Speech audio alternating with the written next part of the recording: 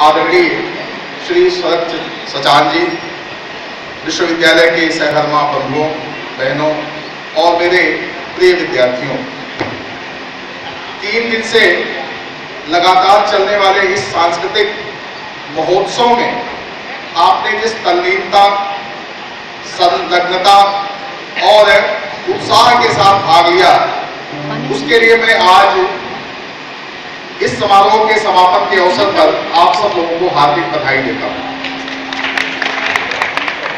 बच्चों ये आपके लिए सौभाग्य की बात है कि आज के मुख्य अतिथि कभी यहीं झांसी में आप जैसे विद्यार्थी रहे ये इसी झांसी से पढ़कर निकल, हुए इस माटी के ऐसे नौनिहाल हैं जो आज यहाँ उप महानिरीक्षक पुलिस के रूप में पदस्थापित हैं। ज़ाहिर है कि बुलाने के पीछे मेरी मंशा ये थी कि आपके मन में यह विश्वास और धारणा पैदा हो कि यह धरती शौर्य की धरती है, यह धरती साहित्य संस्कृति और ज्ञान की धरती है, यह धरती विद्या और विज्ञान की धरती है और आप प्रभागी हैं कि आप इस धरती पर शिक्षार्जन कर रहे हैं। यहाँ से निकले हुए अनेक लोग सजान जी जैसे विभिन्न स्थानों पर अपना सर्वोत्तम योगदान कर रहे हैं।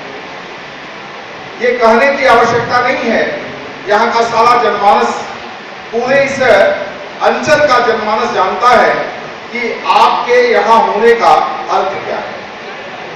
डीआईजी के रूप में श्रीमान सचान जी के होने का अर्थ क्या है, यह पूरा अंचल जानता है। इसलिए इनके व्यक्तित्व के बखान के लिए इनका कृतित्व प्रमुख है। क्योंकि किसी भी व्यक्ति का कृतित्व ही उसकी पहचान होती है। कहा जाता है कि विशेषण संज्ञा का विरोधी होता संज्ञा की पहचान विशेषण से तब तक होती है जब तक कि संज्ञा का कृतित्व प्रकट नहीं होता। इसलिए मैं कोई विशेषण इनके साथ नहीं लगाना चाहता। इनका कृतित्व ही इनकी पहचान है और मुझे विश्वास है, इनके कृतित्व की सुगंध न केवल यहाँ, बल्कि पूरे प्रदेश और देश में जिस तरह से व्याप्त है, वह हमारे आपके लिए, झांसी के लिए एक गौरव की बात है।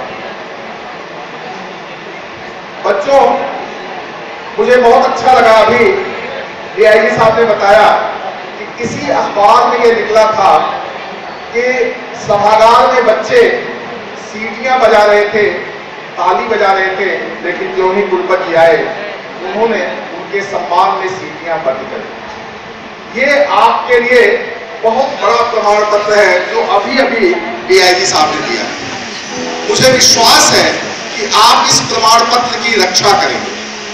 और न केवल आज अपने पूरे जीवन में इस प्रमाण पत्र के योग्य अपने को प्रमाणित करते रहे। ये सुन करके मैंने संयोग से वो बात नहीं पढ़ा, जहाँ ये लिखा था। लेकिन डीआईडी साहब से यह सुन करके मेरा माथा आपके लिए गर्व से ऊँचा हो गया। कि हमारे विद्यार्थी ऐसे हैं, सुयोग्य हैं, समझदार हैं और सुसंस्कृत भी। अभी यहाँ लिखा गया है सांस्कृतिक का संज्ञा। आप जानते हैं, मैंने कई बार बताया कि जिसमें हम रहते हैं, वो हमारी सभ्यता। ये भवन, ये बिजली, ये पंखे, ये वातानुकूलित संयंत्र, ये सब सभ्यता के उपकरण हैं जो हमें सुख सुविधा प्रदान करते हैं। लेकिन सभ्यता से एक बड़ी चीज़ है, जिसके लिए कहा जाता है कि जो हम में रहती है हमारे भीतर जो है, वो संस्कृति। हमारा आचरण, हमारी कलात्मक सोच, साहित्य, संगीत और कला के लिए हमारे भीतर का दृष्टिकोण, यह सब हमारी संस्कृति की पहचान हम जो कुछ भी जीते हैं, जिस प्रकार जीते हैं, हमारा एक एक आचरण, हमारी पूरी परंपरा, हमारा परिवार, हमारे पुरखे हमारे पूर्वज उन सबकी परंपरा को प्रकट करता। है आज इस अवसर पर मैं आप सबका, अपने विद्यार्थियों का भी और सबकी ओर से, पूरे विश्वविद्यालय परिवार की ओर से आदरणीय श्रीमान शरद सचान जी का हार्दिक स्वागत करता हूँ। एक बार ताली मिलाकर ऐसे अपनी धरती के लाभ का अपनी ही धरती पर आप स्वागत करें।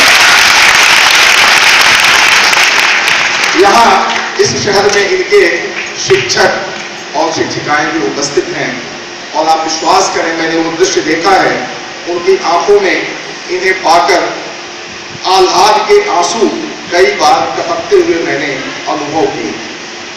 क्या पता कल को आप में से कोई ऐसा होनहार बालक निकले जिसे इसी प्रकार के किसी और उच्च पद पर देखकर यह अनुभव मुझे भी और आपके शिक्षकों को हो।